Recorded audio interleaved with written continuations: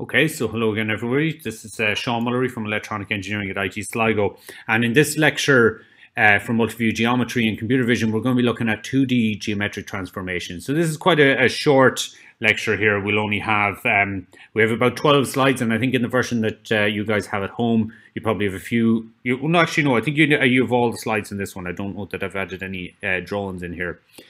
This is relatively simple. Going back, I, I can't remember who was asked the question. I'm feeling it was Niall, but I'm not sure about CAD models. So what you're going to see here is uh, a lot to do with the idea of uh, what you would see in two-dimensional uh, computer-aided design, where you have you know squares and shapes like that, and you want to move them to some other place, or you want to change their shape in some way, and what transform they would undergo in order for that to happen.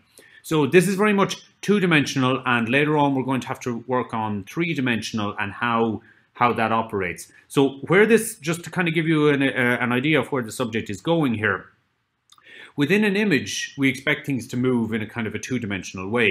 But the images are, they're photographs or, or you know, uh, maybe video from a camera that's, that has a certain perspective. So it's looking at a three-dimensional world. So we need to know about how things would then, you know, how things would, mark, uh, would, would move in three dimensions.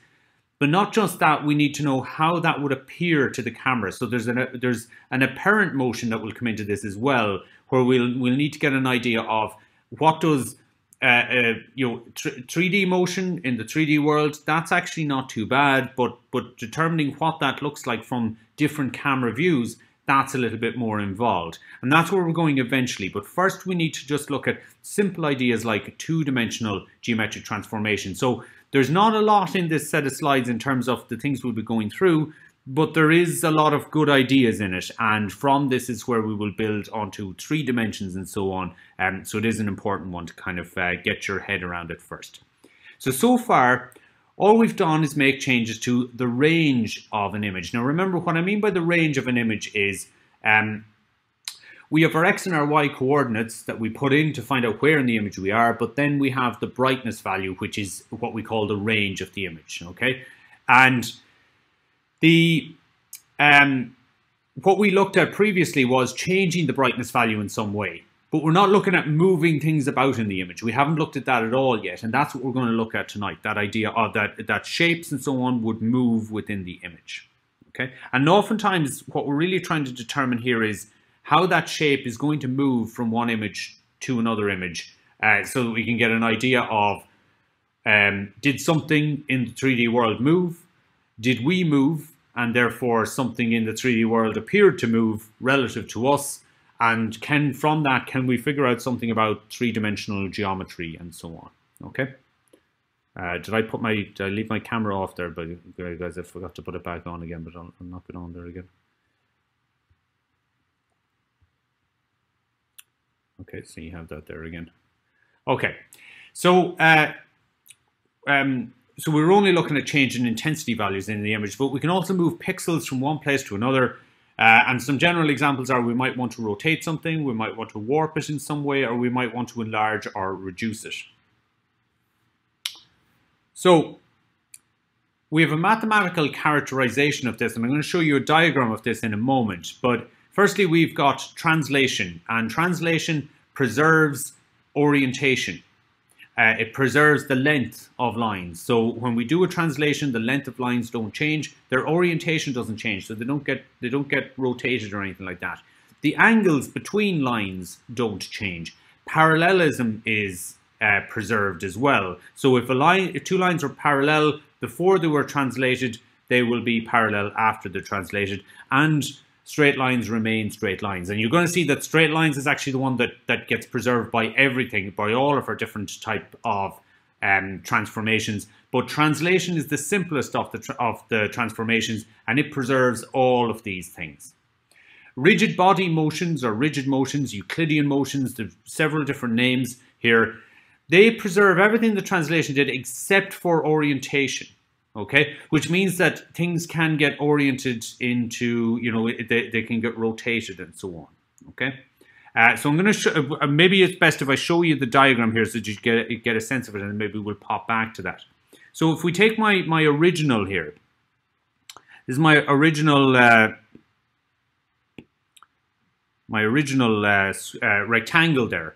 If I translate it, what I do is I move its position, but I don't change its orientation.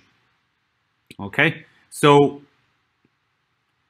that point there, uh, I'll maybe take a red, that point there moves along there and up to there. Okay, so we can see that it moves along there and up to there. Um, so it moves a certain amount on the X and a certain amount on the Y, but it doesn't it doesn't rotate in any way. Now, if we look at our example of rigid body motion, we can see that this point here has moved to this point here. To that point there. We can see that movement that's taken place there. But we also see that this has changed its orientation here. Okay, so what has been preserved from the original is that the lengths of each of the lines have not changed. Okay, so they have been preserved in a rigid body motion. And rigid body motion means exactly as it says. If I if I take my my something like my mobile phone here, this is rigid body motions that I'm that we're undergoing here because I haven't changed the physical dimensions of the phone. I haven't managed to make it longer or shorter or squashed it or anything like that. I haven't changed it in any way. But I can change its its orientation and I can change its position. So that's what we have with rigid body motion. And of course, because we have maintained um, uh, we've maintained the lengths of the lines, we've also maintained the angle between them. That's important. That's not necessarily guaranteed by just maintaining the length of the lines because, of course, we could have a parallelogram or something like that that maintained the length of the lines. But um, that also means that we've retained the area within the within it and so on. Okay, so we can think of and you can see all the different things that have been retained. Parallelism has been retained as well. Parallel any any line that was parallel, so that line there was parallel with this line. That's still the case. That line is parallel with that line this one with this, this one is this one with this one. So you can see that all of those things have been retained, okay? So the next one then is similarity. Um, and in maths, uh, this you know this idea of similar triangles or similar rectangles and so on, it, it has particular mathematical definitions, but you can think of that it looks similar in shape. So what gets preserved here? Well, we can see that, uh, so in other words, this position has moved to this position here. So um, it can be rotated, so clearly we haven't preserved its orientation, okay? Um, what else is what else has changed? Well, the lengths of the lines have changed, so it hasn't preserved length, okay? But angles have been retained, so it has preserved those. Um, it has preserved parallelism, okay? And straight lines are still straight lines. So it's preserved all of those three. So if we look at it here, we can see that similarity preserves angles, preserves parallelism, preserves straight lines. Okay, so you can see that the, the hierarchy that goes on here, that the top one preserves everything, the bottom one preserves the least of these. Now an affine motion then preserves parallelism and straight lines, but it doesn't guarantee to preserve anything else. So it can rotate, so it can change its orientation, it can change the length of the lines, that can happen, and the angles can change between them. So we can no longer rely on the angles being the same as they were. We can see that the angles have changed. But parallel lines are still parallel. Okay. And um, we can we can see that straight lines are still straight lines. Okay, so all of those things are still happening. Okay. Now, the last one then is projective. And this is uh, projective is what can can happen um, when something is brought into a camera.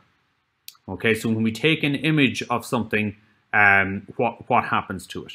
So we can see here that well, actually, maybe you can tell me um, what what gets what gets preserved here. Can anybody see anything that gets preserved from going from my original to my projective here? Is there anything that that still is preserved? Yeah, straight straight lines is preserved. Okay. Now Vin has said sides, and yeah, we have the same number of sides. Um, so okay. Um, So I'm not sure what you mean by circumference. Do you mean the the uh, the total length? No, that doesn't get preserved at all. We've no guarantee of that being preserved at all. Same as the similarity, we don't know that that's going to be done.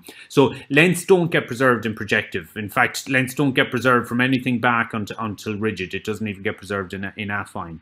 So actually, the only thing that gets preserved is that they are still straight lines. We don't even get parallelism or any of that. Okay, so in a projective transform, that's the only thing that gets preserved. That can seem very, very limiting, but actually an awful lot of the work we're going to do relies on the fact that because straight lines are preserved, that that uh, that that allows us to do quite a lot of things. Okay. Now, unfortunately, if you go beyond the standard camera model, which is kind of the pinhole model, and you go to things that have distortions, and you go to maybe these uh, fisheye lenses, then even in those straight lines are not preserved, and then you're into a lot more trouble.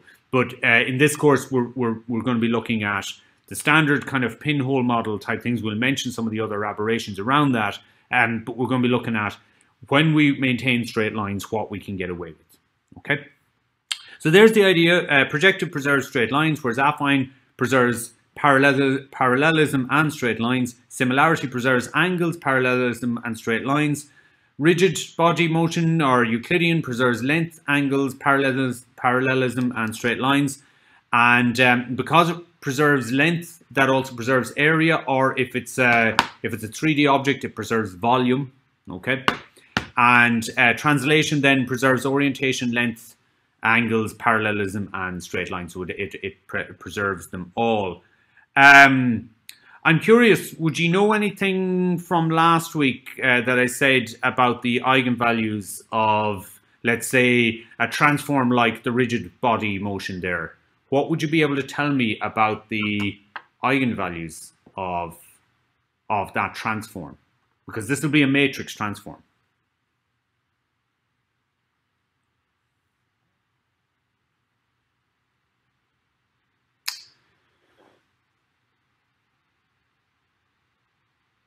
Yeah, so so Carl has said one, and that's that's now Marisa said remain the same, but that that's basically telling you that the eigenvalues of the transform are one. In other words, that it doesn't change them in any direction. Yeah, so uh, so they're all one, and of course, if you have eigenvalues of all one and it's in two dimensions, that means you have an area of one, which means that your area doesn't change um, it'll retain the area. And if it's uh, if it's in 3D, it'll it'll be ones in every direction in the three directions, and that means that the volume will be retained. So in a rigid body motion, no matter what transforms I do on this in terms of rigid body, rotation, translation, I don't change the volume of it. Now similarity, obviously, clearly, if I make a, um, a similarity one, I can make this phone smaller, which which isn't going to. I think I just come on to this section here about the translation. And um, so the matrix for this is fairly simple. It's a three by three matrix. And these, uh, we've got the uh, the three ones down the middle, which would normally tell us the identity matrix. So if that was all we had and we just had zeros here and here, we would have absolutely no effect. So basically what those determine is direction. Uh, we, we stay the same going in, in each different direction, okay? Um, so in other words, we don't uh, we don't rotate on the X, we don't rotate on the Y or on the Z for that matter. But we can move along the X and we can move along the Y, um, which is what the TX and the TY stand for. Now, what sometimes will happen is people will put these into block matrices. So you can see here that this, um, what we have here, sorry, I'll draw that a bit smaller actually. Um, that bit there, what would you call that? If you just had that 4 by 4 there, what would you call that matrix?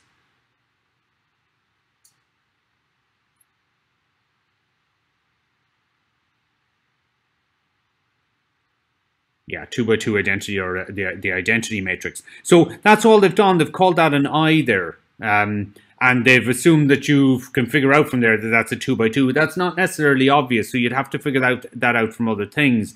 Um, we've got our translation vector here, which is why it's given as a lowercase letter. So it's a vector of tx and ty there. And then what we've got is we've got a zero vector here that's transposed, which is why it's a row vector.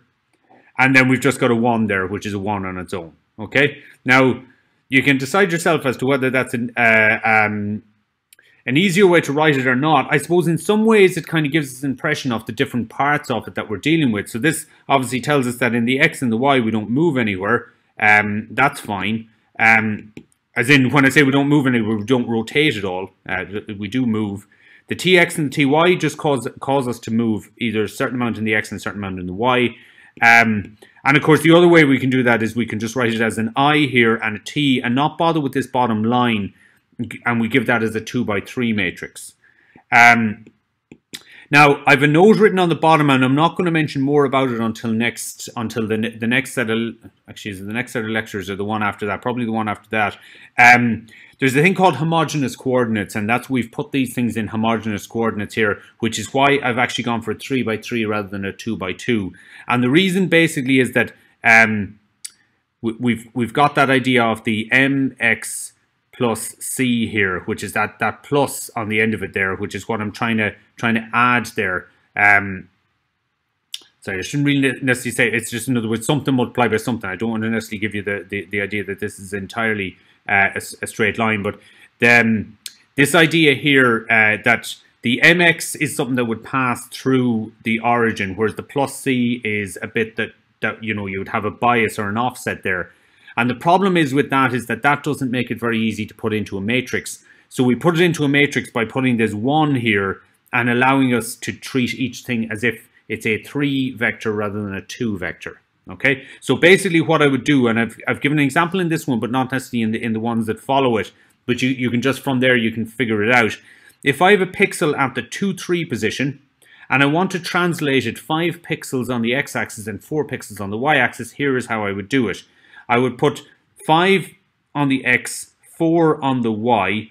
My, I would write down my pixel position as 2, 3, and then a 1 on the end. And this is the idea, the homogeneous coordinates. As I say, I'll be, I'll be doing a, a full set of a lecture on that, or a good bit of a lecture on that later. Um, what I then do is we just we just multiply this out in the standard way that we have done up until now.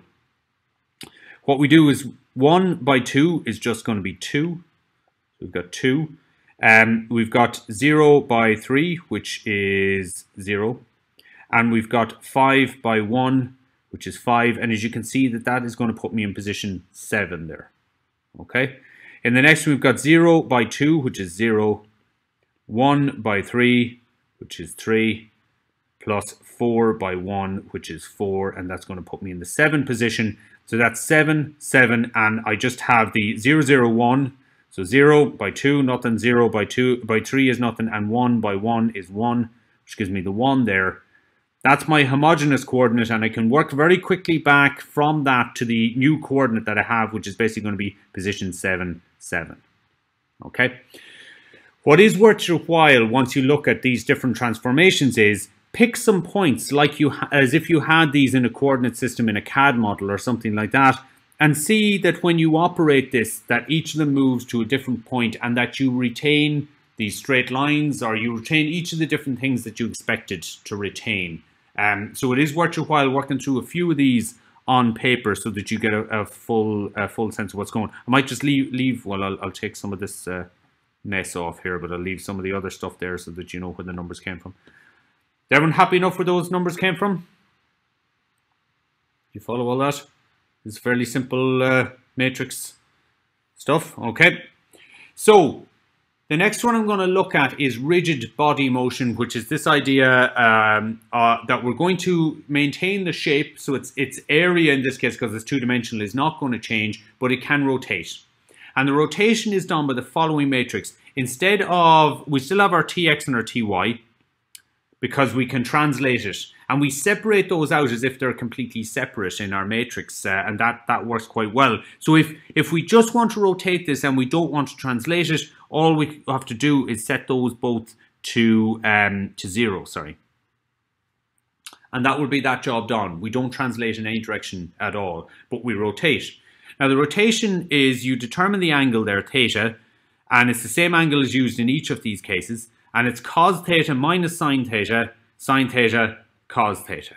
Okay, now you would be forgiven if you're looking at that and going, well, how would I know that that's the order that they go in and so on? Okay, so what I've done there is uh, down down the bottom here, I have left a little um, link to a video by Patrick JMT, which is just his, his YouTube handle. Uh, I don't know what the JMT stands for.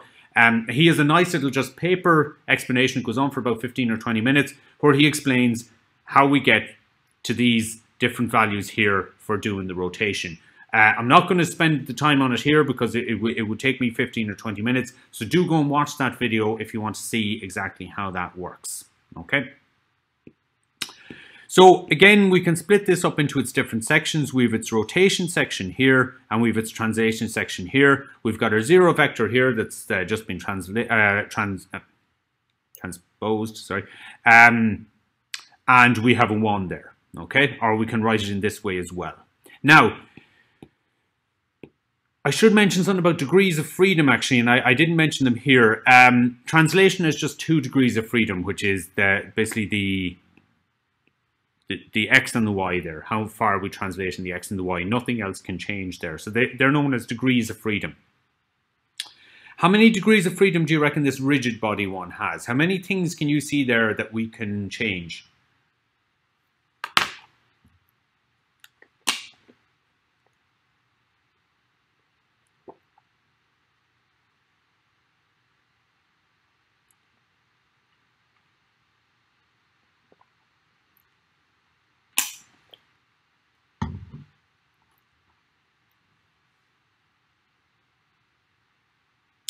Okay, so uh, we're looking at the rigid here, and we can see that we can change x and we can change y, but we can also change the value theta. Okay, so in this particular case, now this we wouldn't reduce volume here, uh, Carl. So so so that's not what we're on yet. We're still on the rigid body motions here. But there are three things that we can change. You'll notice that the theta is the same value in the four positions that it's in, but there's three different values that we can set here. Therefore, we would refer to this as three degrees of freedom. Is everyone clear on what I mean by that? Have you got the sense of it now?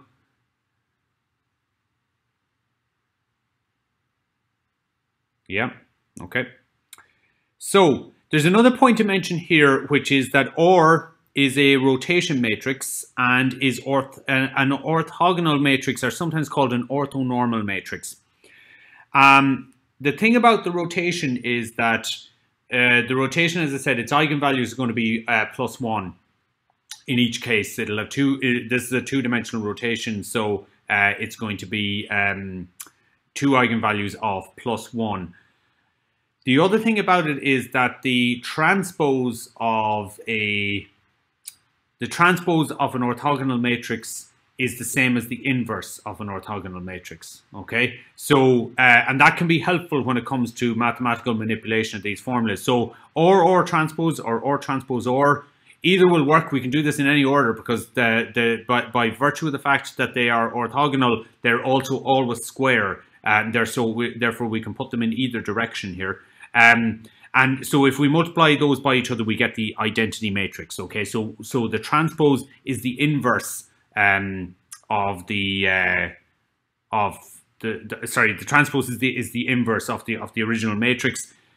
Now what that that means is also that uh, if you do a rotation and you want to rotate it back to where you started, you just do the transpose matrix in order to get it back to where it started. And therefore, that's why it's called the identity. It's like we left the thing in the original position.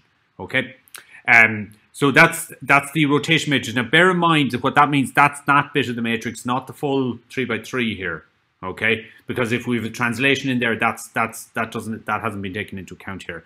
Uh, but the rotation one itself, um, anyone, are you familiar with that that uh, that particular mathematical notation there for a matrix? Do you know what I mean by this? What does it mean then? I don't trust you.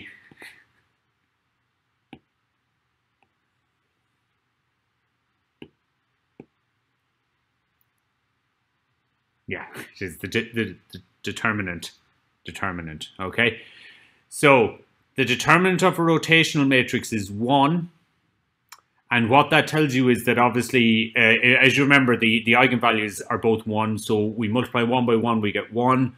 So what that also tells you is that it preserves the area of whatever it is that you're dealing with. Okay, so when you move these things, you preserve the area. And we'll see in three dimensions when we've got these rotation matrices, they will they will um, preserve the volume of whatever it is that we're, we're changing. Okay. If you're not familiar with those orthogonal matrices and so on, and you want to read up a bit more about them or watch a bit more about them, Gilbert Strang, who's the the textbook that I recommended for them for the maths lecture, uh, as I say, we, he also has all of his YouTube videos, all of his lectures up on YouTube as YouTube videos. Um, so you can you can uh, have a look at them there, and uh, I have a link there to the particular one where he talks about orthogonal matrices. All right, so the next one is similarity, and this is where we can change the size of it. Uh, so um, we can see there that what we've done, uh, just um, let's say I have a, a sine wave, or just a, just a sinusoid. It doesn't have to be a sine wave or a cosine wave. It could be an addition to two of them or whatever. Um, so, you know, we've got like sine uh, 2 pi ft or something like that. Um, if I multiply by something here, so let's say I say s multiplied by that, that s will determine the peak value of my sinusoid. And by virtue of that, it will change every other value uh, relative to that as well. So this is a scaling factor. Um, so these things, um, by their very nature, stick to within a value of one. They work on that unit circle idea. Uh, and therefore, that's why we have this situation where those rotations are orthonormal. That they, you know, they're not going to have a size that's bigger than one. They always have a vector that's that's within that space. It's always the the, the radius of a unit circle. If I multiply it by s, though, uh, I've now made it not a unit circle. I've made it a circle of radius s. And so we can see there that what's going to happen is that if that s is bigger than 1, then I'm going to increase the size of this while rotating it. I'm also going to increase the size of it in every direction. And if it's smaller than 1, I'm going to decrease the size of it uh, from that point of view. So that's why we see the, the OR here, we see the OR here written as a rotation matrix. It's still or, uh, an orthogonal matrix, but it's been multiplied by a scalar value s. A scalar value be just being just a single value of s. All right, we'll ask the same question as we asked previously, which is how many degrees of freedom have I got this time?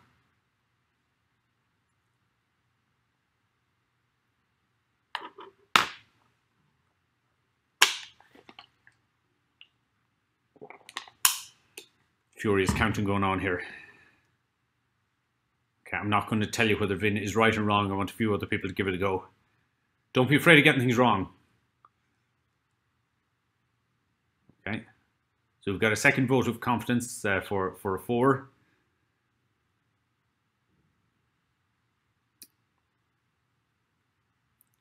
So Niall is telling me what the different degrees of freedom are now, hopefully.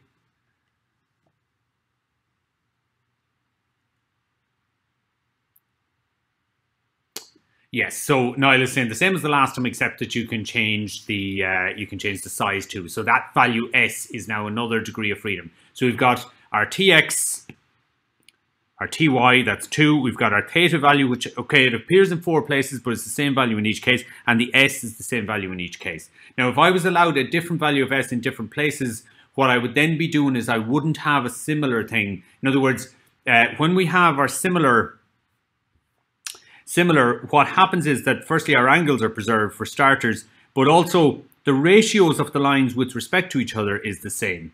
So uh, you could think of this as something like aspect ratio or that, that those ratios stay the same.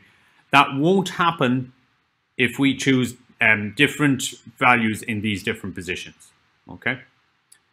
Uh, so the S is the scale factor. So this is where we come on to the affine idea. Now this is very similar to the last one, except any value can go here, here, here, and here. So of course we can include our um, our uh, our sines and our thetas and so on. But now we've got different values of s, and so so we've got uh, completely different values that can go into these positions, and these can be absolutely arbitrary values as regards what actually goes in there for the sorts of changes that are going to occur. It will not affect parallelism though. Um, those lines will still be parallel to each other, but they can be uh, they can be moved to a different position. Um, their orientation can change, their lengths can change, and obviously, you know, they, they it, uh, as I say, orientation, the, the, the, they can be uh, rotated or whatever. Okay, so with regard to this, and this this one is not as obvious because uh, those values can just be absolutely any arbitrary value that we want. How many degrees of freedom have we got this time?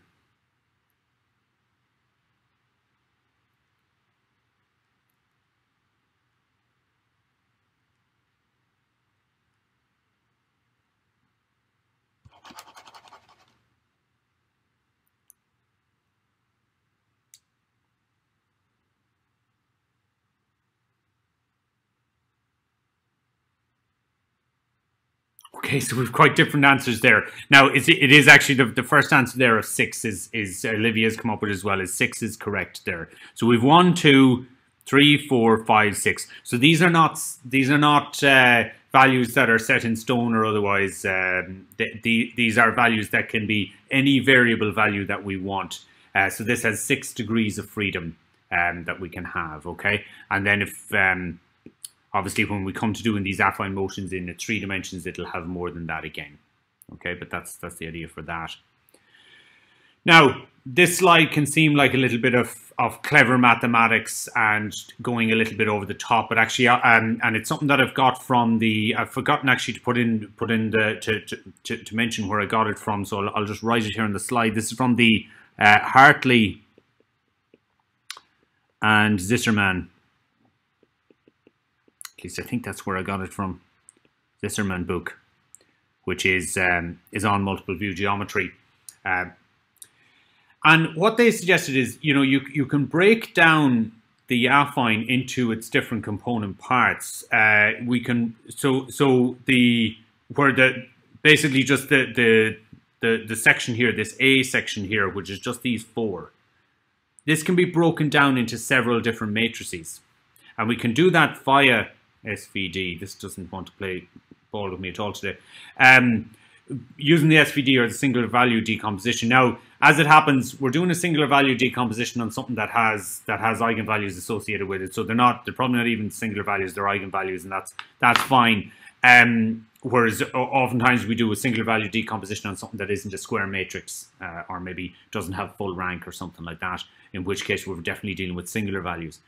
Um, so it can be broken down into as into as follows, right? We can we can break it down here into the um, singular values or the, the eigenvalues of this, uh, this matrix here, which is sigma 1 and sigma 2. We do a rotation of phi and a rotation of minus phi um, in, in different orders. Um, and what this basically means is that, let's say I want to do some rotation and I also want to change the, the, physicals, the, the physical size and I want to change it by different sizes in different directions, okay? Which is what the affine one can do. Well, what we basically do is, uh, so let's say we, we have some, some shape, um, so we have some shape here like this, and, and what we want to do is we want to stretch it a different amount in this direction than in this direction, okay? So what's going to happen here well, what this basically says is that it's the same as rotating by phi to bring us in line with the x and the y axis. Okay, so it brings us in line with the x and y axis. So basically what it does is it lines up the eigenvectors which are just the principal vectors of whatever this object is. So imagine I've got my, my, my, my phone here and I have an eigenvector in that direction and I've got one in this direction. And what I do is I just turn that by phi so that I line it up in the x and the y, y uh, directions. Okay. Once I've done that, what I can do is I can scale it. Um, so I scale it by this amount in one direction and this amount in the in the other direction. So this amount in the x, x direction and that amount in the y direction. And they can be different amounts. And what I then do is I then, once I've done my scaling, rotate it back to where it was and then decide to do my original rotation that I wanted to do to some other place. So in other words, I do my sizing first, but I make sure I'm lined up with the X and the Y axis first to do my sizing properly, and then I rotate it back to where I was, and then rotate it to whatever angle I had originally wanted to do. And all of that information is contained in this A matrix. We could just put it in as a pile of values, or we can think about it in these different ways. Now, why is this why is this helpful to know this? Partly it's helpful to know this to kind of get an idea of what the, the singular value decomposition actually does. And you, you often see this idea where, you know, we, we have a decomposition where we've got a U trans, sorry, change back to this one.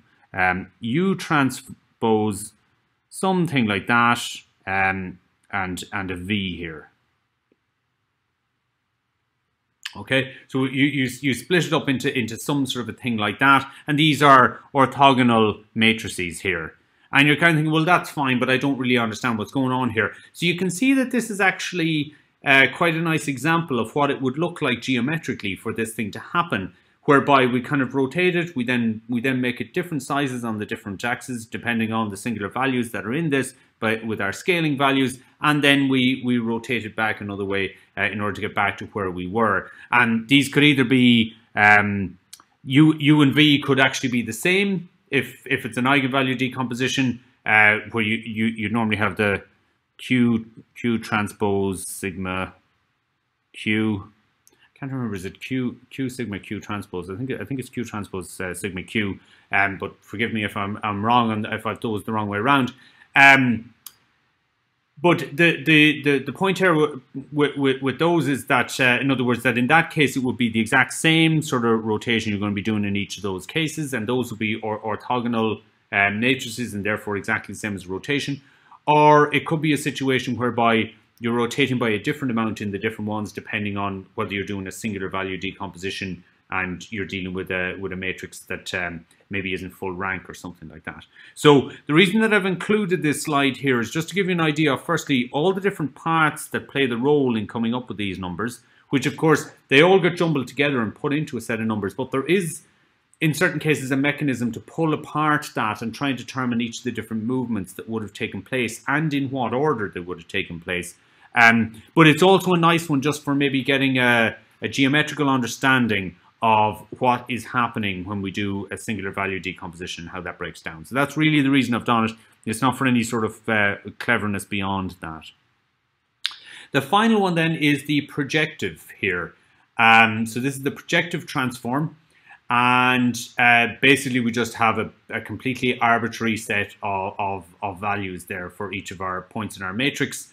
Um, this will maintain straight lines, um, but but nothing else. Points become points, of course, and lines become lines, um, and it it re remain it'll retain the straightness of them. But other than that, uh, do you want to go for numbers degree number of degrees of freedom?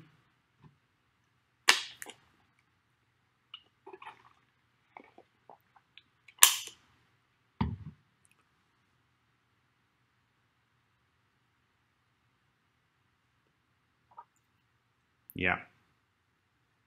I'm wondering, is Olivia going to say something different here? I'm curious. No? You backed out there, Olivia.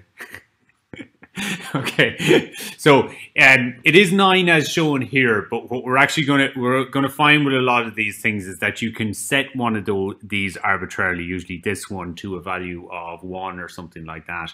And what we find is that because these are homogeneous squares, Oh, you keep losing connection. That's all right. Um, no, I was just curious as to whether you might have come across something like this before or not. Um, so what what can happen is that we can we can set one of these values to an arbitrary value, and that everything else changes in relation to that. So this is the idea in in uh, a, projection where something could be. Um, you know, you know, uh, we, we we can't tell from from a picture whether it's something big and close up uh, or something, sorry, uh, so, something big and far away or something small and close up. And that ambiguity is always there with us in trying to determine when we're dealing with camera views. So when we look at these projective ones, while it appears that there's kind of nine degrees of freedom, yeah, the, the, the scaling problem, um, in in effect, we we will often deal with just eight degrees of freedom, and we, we set that to a one, and that's because, of course, we do actually have nine degrees of freedom. It's just that there, there's there's an ambiguity there. We're never really going to know what that value is, so we often decide arbitrarily to set it to one and work with everything from that. Okay, so that's that's why I was uh, seeing where where we were on that, but we'll be explaining more about that later on. That will that will take a lot uh, up a lot of our time. Daniel has a question here, so Daniel, keep typing there. There's no problem.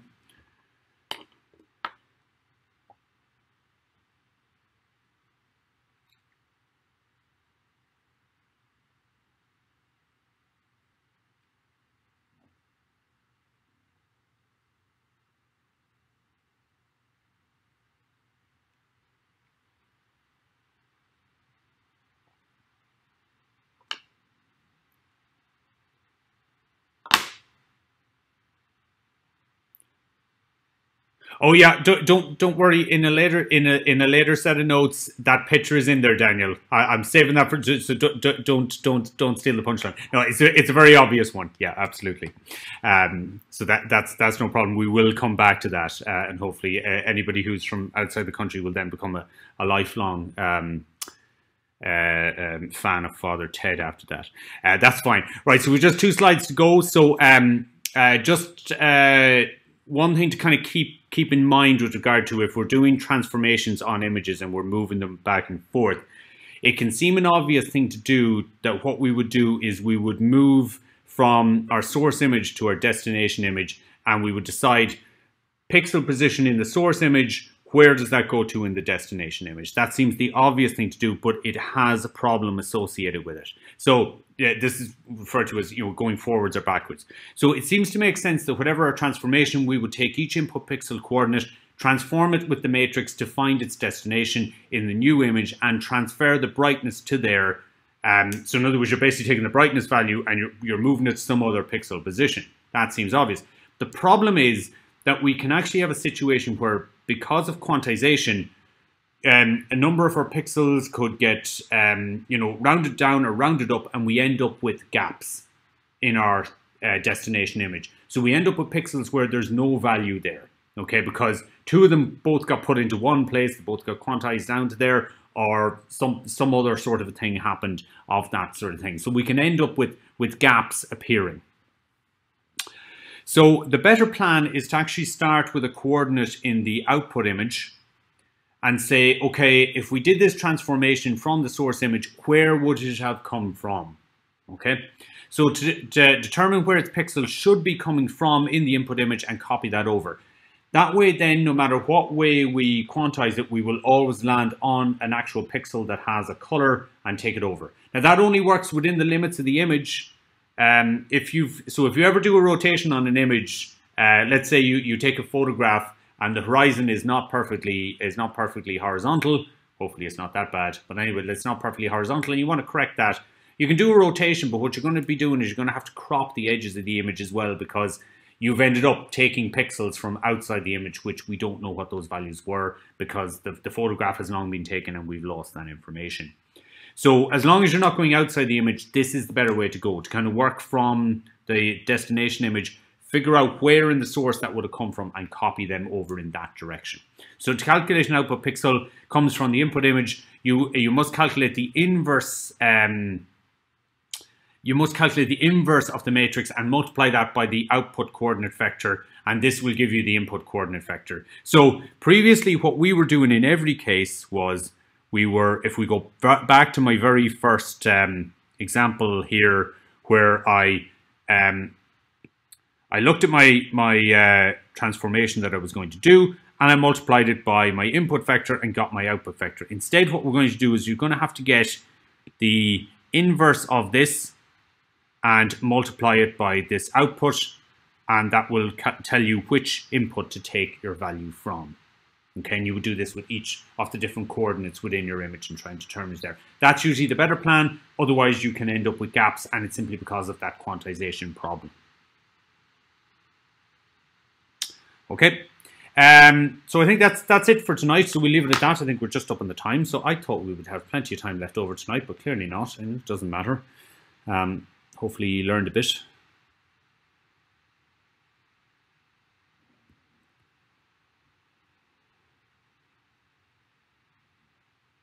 That's no problem. So as I say, I'll uh, hopefully get some information out to you on your assignment this week, and uh, you, but you you kind of know what you should be at at this stage, and you can you can start working on it there. Okay.